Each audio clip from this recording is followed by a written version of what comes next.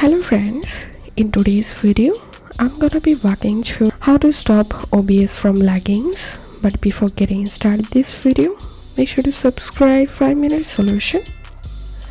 Method 1 stop other bandwidth intensive activities. So for that right click on start menu and click on run. And type here resmon and click on ok and click on network. On the network tab take note of the total B/sec column. In this way you will get an intuitive understanding of what process is now using the most of your bandwidth. Now right click on the application that's eating up your bandwidth and select end process. For example i'm right clicking on dropbox and process and click on end process. So that was the first method and now let's see the second method.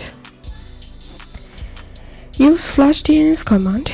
This command is pretty useful to solve network related issues when you are having major lag spikes in games or just feel that your network connection is unstable stops working.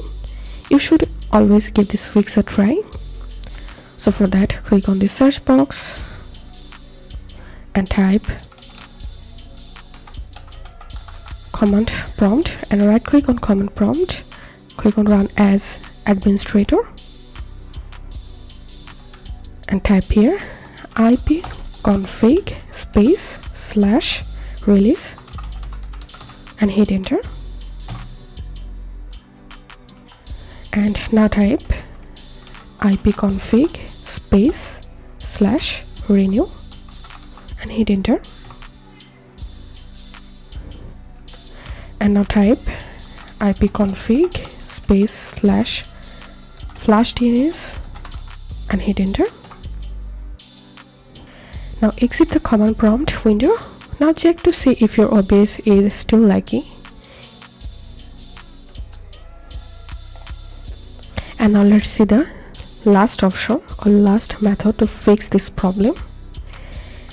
So method 3 is start your modem and router. You should restart your modem and router especially if they haven't been switched off for a long time. Just give them some time to cool off and clear off the cache. Here's how to do it. Unplug both your router and modem and wait at least 30 seconds to let the two machines cool down a bit plug the modem back in and wait until the indicator lights are back to their normal state. Plug the router back in this time.